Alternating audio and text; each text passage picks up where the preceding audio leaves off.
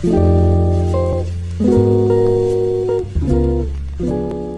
friends welcome back to സമൂച്ചീസ് ഇന്നത്തെ recipe ഒരു അവലോസ പൊടിയാണ്. നമ്മൾ സാധാരണയായിട്ടൊക്കെ അവലോസ പൊടി തയ്യാറാക്കുമ്പം പച്ചരി വെള്ളത്തിലിട്ട് കുതിർത്ത് പൊടിച്ച് തേങ്ങയൊക്കെ തിരുമ്പി ചേർത്തിട്ടല്ലേ അവലോസ പൊടി തയ്യാറാക്കാറുള്ളത്. എന്നാൽ ഞാനിന്ന് ഇവിടെ അങ്ങനെയൊന്നുമല്ല തയ്യാറാക്കുന്നത്.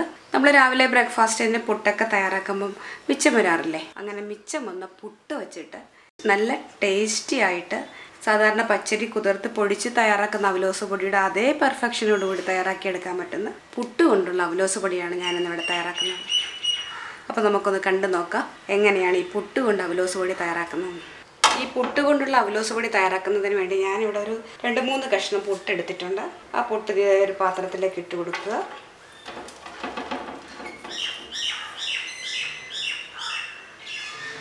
നന്നായിട്ടൊന്ന് പൊടിച്ചെടുക്കണം. കൈകൊണ്ട് ഇങ്ങനെ നന്നായിട്ടൊന്ന് തിരുമ്മി പൊടിച്ചെടുക്കുക. അങ്ങനെ ചെയ്തിട്ട് ചെയ്തിട്ട് കട്ടകളുണ്ടെങ്കിൽ നമുക്ക് മിക്സിയിലൊന്ന് അടിച്ചെടുത്താലും മതി.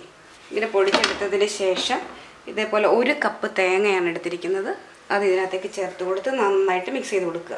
തേങ്ങ കൊത്തൊക്കെ ഉണ്ടെങ്കിൽ ഇത് തിരുമ്മി എടുത്തതിന് ശേഷം നമുക്ക് മിക്സിയിലൊന്ന് അടിച്ചെടുക്കാം കേട്ടോ. അപ്പം ഞാനത് അങ്ങോട്ട് കൊത്ത് വീണിട്ടുണ്ട് അതൊന്ന് മാറ്റി വയ്ക്കുവാണ്.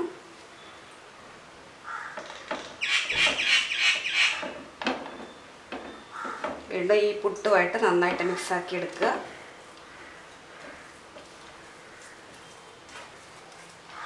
ഈ തേങ്ങയൊക്കെ വലിയ കഷ്ണമായിട്ട് വീണത് കൊണ്ട് ഞാനിതൊന്ന് മിക്സിയിൽ അടിച്ചെടുക്കാൻ പോവുക കേട്ടോ. അപ്പോൾ ഞാനിതൊന്ന് മിക്സിയിൽ അടിച്ചെടുത്തിട്ട് കൊണ്ടുവരാം. ഞാൻ ആ പുട്ട് മുഴുവനും ഇതേപോലെ മിക്സിയിൽ അടിച്ചെടുത്തു. തേങ്ങയും ചേർത്ത് മിക്സിയിൽ ഇതേപോലെ നന്നായിട്ട് അടിച്ചെടുത്തിട്ടുണ്ട്. അല്പം പോലും കട്ടയൊന്നുമില്ലാതെ നല്ല പൊടി പോലെ പൊടിച്ചെടുത്തിട്ടുണ്ട്. ഇതിനകത്ത് അല്പം പോലും വെള്ളം ചേർക്കരുത് കേട്ടോ. നമ്മൾ പുട്ട് വെള്ളം ചേർത്ത് നനച്ച് പുട്ടിന്റെ പൊടിയൊക്കെ വെള്ളം ചേർത്ത് നനച്ചെടുത്തതല്ലേ നമ്മൾ സാധാരണ അവലോസ് പൊടി തയ്യാറാക്കുമ്പോൾ അല്പം പോലും വെള്ളം ചേർക്കാറില്ലല്ലോ. അപ്പോൾ ഇനി ഇതിനകത്ത് വെള്ളമൊന്നും തളിക്കരുത്.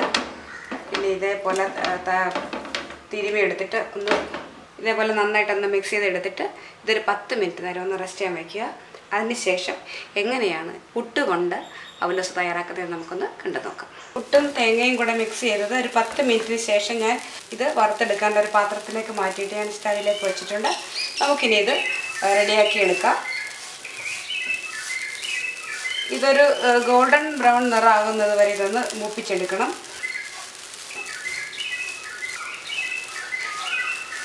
വളരെ എളുപ്പം ചെയ്തെടുക്കാൻ പറ്റും. നമ്മൾ തേങ്ങ പച്ചരിയൊക്കെ കുതിർത്ത് പൊടിച്ച് തയ്യാറാക്കുന്നതിനേക്കാളും വളരെ എളുപ്പത്തിൽ നമുക്കിത് ചെയ്തെടുക്കാൻ പറ്റും. അതുപോലെ തന്നെ നല്ല ടേസ്റ്റുമാണ് അരി പൊടിച്ച് അരിപ്പൊടി കൊണ്ട് തയ്യാറാക്കുന്ന അതേ ടേസ്റ്റ് തന്നെ ഇതിന് കിട്ടും കേട്ടോ. നിങ്ങളൊന്ന് കണ്ട് നോക്കിയിട്ടൊന്ന് ട്രൈ ചെയ്ത് നോക്കിയാൽ മതി. അപ്പം മനസ്സിലാവും ഇതിന്റെ ടേസ്റ്റ് അപ്പം ഒന്ന് കൈ എടുക്കാതെ ഇളക്കിക്കൊണ്ടിരിക്കുക. കരിഞ്ഞു പോകാതെ നോക്കണം. ഫ്ലെയിം അല്പം കൂട്ടി കൊടുത്തിട്ട് ചെയ്യുക. കൈ എടുക്കാതെ കരിഞ്ഞു പോകാതെ ഇളക്കിക്കൊണ്ടിരുന്നാൽ മാത്രം മതി. കുറച്ചങ്ങ് മൂത്ത് കഴിയുമ്പോഴത്തേനും നമുക്ക് ഫ്ലെയിം കുറച്ച് വെച്ചിട്ട് റെഡിയാക്കി എടുത്താൽ മതി. അപ്പോൾ ഇതൊന്ന് മൂത്ത് വരട്ടെ. എന്നിട്ട് ഞാൻ കാണിച്ചു തരാം ഏത് പരിവാകുമ്പോൾ ഇത് മതിയാക്കണമെന്ന് ഞാൻ കാണിച്ചു തരാം കേട്ടോ. ഹൈ ഫ്ലെയിമിൽ ഒരു ഏഴ് മിനിറ്റായി ഇത് അറുത്തെടുക്കാൻ തുടങ്ങിയിട്ട് ഞാൻ കൈ എടുക്കാതെ ഇളക്കിക്കൊണ്ടിരിക്കുമായിരുന്നു ഫ്ലെയിം ഒന്ന് കുറച്ച് മീഡിയത്തിലാക്കുക ഒരു ബ്രൗൺ നിറാകുന്നത് വരെ വറുത്തെടുക്കുക. കൈ കൊണ്ട് ഇങ്ങനെ തിരുമി നോക്കുമ്പോൾ മുരുമുരാന്ന് വരണം. ആ ഒരു പരിവാകുന്നത് വരെ ഇത് മൂപ്പിച്ചെടുത്താൽ മതി. ഒരു പത്തോ അല്ലെങ്കിൽ ഒരു പതിനഞ്ച് മിനിറ്റ് കൊണ്ട് ഇത് തയ്യാറാക്കി എടുക്കാൻ പറ്റും. അപ്പോൾ ഇതൊന്ന് നന്നായിട്ടൊന്ന് മൂത്ത് വരട്ടെ. ഇതിലേക്ക് നമുക്ക് ഇതേപോലെ ഒരു ടീസ്പൂൺ ജീരകം ചേർത്ത് കൊടുക്കാം സാധാരണ എല്ലാവരും എള്ള് ചേർക്കാറുണ്ട്. പക്ഷെ ഞാൻ എള്ളൊന്നും ചേർക്കാറില്ല. ദിവസം കൂടി തയ്യാറാക്കുമ്പോൾ എള്ള് ചേർക്കാറില്ല. ജീരകം മാത്രമേ ചേർക്കാറുള്ളൂ. നിങ്ങൾക്ക് എള്ള് ചേർക്കണമെന്ന് താല്പര്യം ഉണ്ടെങ്കിൽ ചേർത്ത് കൊടുക്കാം. പക്ഷെ ഞാൻ ചേർക്കാറില്ല കേട്ടോ. ഇപ്പോൾ ഇത് വറുത്തെടുക്കാൻ തുടങ്ങിയിട്ട് ഒരു പതിനഞ്ച് മിനിറ്റ് കഴിഞ്ഞിട്ടുണ്ട്. ഇതിന്റെ കളറൊക്കെ മാറി നന്നായിട്ട് മൂത്തൊക്കെ വന്നിട്ടുണ്ട്. നമ്മൾ കൈ കൊണ്ട് ഇങ്ങനെ തിരുമ്മി നോക്കുമ്പോൾ എന്താ മുരുമുരാന്ന് വരുന്നുണ്ട്. കണ്ടോ? അത് പൊട്ടുന്ന ശബ്ദമൊക്കെ കേട്ടോ. നന്നായിട്ട് മൂത്ത് വന്നിട്ടുണ്ട്. ഇത്രയും മൂത്താൽ മാത്രം മതി. സ്റ്റവ് ഓഫ് ചെയ്ത് വെച്ചിട്ട് നമുക്കൊരു പാത്രത്തിലേക്ക് മാറ്റാം കേട്ടോ. ഇനി ഇതിലേക്ക് ഒരു സ്പൂൺ പഞ്ചസാര കൂടെ ചേർത്ത് കൊടുക്കാം.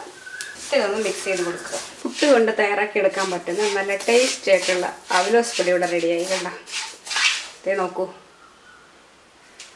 അരി പൊടിച്ച് തയ്യാറാക്കുന്ന അവലോസ് പൊടിയുടെ അതേ ടെക്സ്ചർ തന്നെ വന്നിട്ടുണ്ട്. അതേ ടേസ്റ്റ് തന്നെയുണ്ട് ഇത്. നമ്മുടെ വീട്ടിലേക്ക് ഒരു ഗസ്റ്റ് വരുവാണെങ്കിൽ അവർക്കൊക്കെ കൊടുക്കാൻ പറ്റിയ നല്ലൊരു റെസിപ്പി ഇത്. ഇത് പുട്ടുകൊണ്ടാണിത് ഈ അവലോസ് തയ്യാറാക്കിയിരിക്കുന്നത് എന്ന് പറയത്ത് പോലുമില്ല അത്രയ്ക്ക് നല്ലതാണ്.